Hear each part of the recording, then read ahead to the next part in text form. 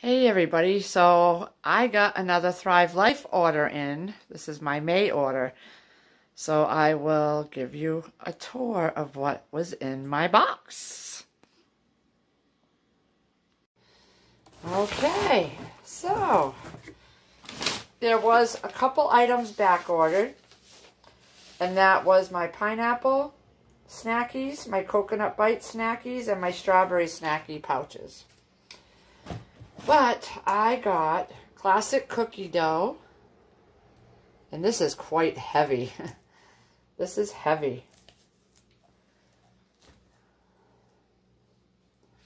And then I'm going to try this soon. This is the brownie mix. Fudge brownie mix. Yum. Never tried either one of those. And this is my instant white rice because Chris actually loves this more than regular rice now. This is my onion slices, which I have plenty of those, but I love their onions, so I get some each time. This is diced beef, fully cooked seasoned diced beef, which I'm going to try that too. Cooked seasoned ground beef patty crumble. I get this all the time because this is so good. I've made a few things with that already in some of my videos. Pineapple because Sierra's can is almost gone. And that is fabulous. Some chicken slices again. Seasoned chicken white meat. I just got some number 10 cans because this is awesome. I love it. So I always pick up a can or two extra sour cream powder, of course, because I love their sour cream. And some butter powder. So I opened a can the other day, so this is going to go back on my shelf.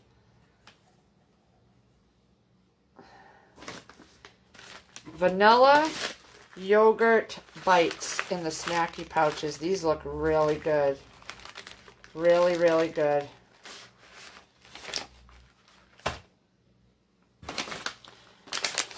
These are Fuji apple slices. These are good. My daughter loves these. And this is one that I'm sending to somebody to try. So, and then my bananas, freeze-dried bananas. These are snackies. That is it, guys. Um, like I said, I'm still waiting on my coconut bites, 8-pack, my strawberry snackies, and my pineapple snackies. But that is all my May stuff. So, I love my Thrive Life. You got to get your Thrive Life, guys. I mean, the prices of things are going up and up and up, and why not have your, your shelves stocked? This is all good for 25 years when you don't open it a year after you open it, but this whole can of chicken right here will feed a family of four for chicken and rice and still have some leftovers. I made quesadillas with the leftovers last time. So, get your Thrive Life, guys. Try it. Email me if you have any questions and I can give you some uh, answers and hopefully get you set up for your monthly delivery. All right, guys. See you later.